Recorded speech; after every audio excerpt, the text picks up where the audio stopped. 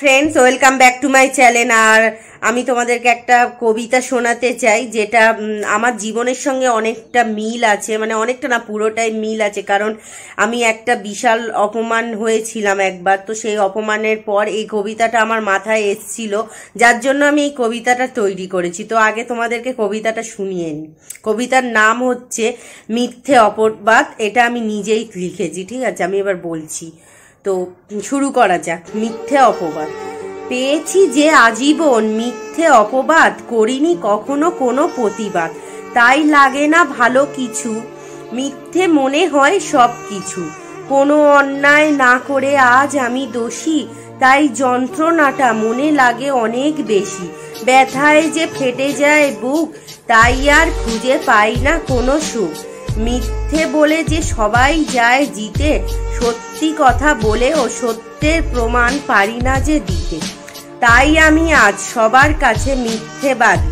যারা মিথ্যে বলেছে তারাই সবার চোখে আজ সত্যবাদী।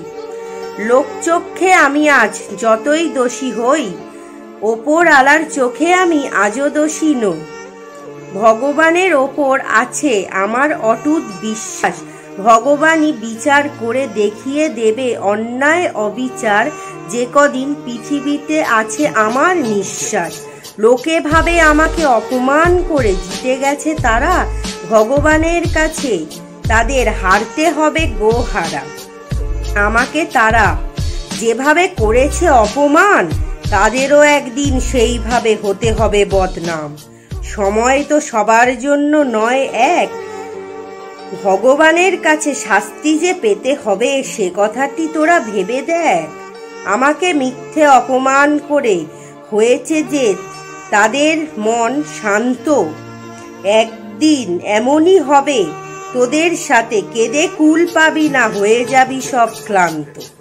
কাউকে কাঁদিয়ে কেউ কখনো হতে পারে না সুখী, তাই একইভাবে হতে হবে যে তাদের দুঃখী।